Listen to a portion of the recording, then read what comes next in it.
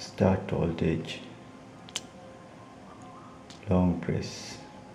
It start voltage and it's long press. Nothing happened nothing flash. Release the button.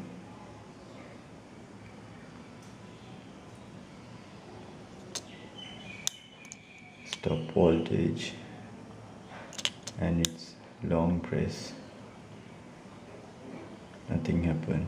Nothing flash the function does not work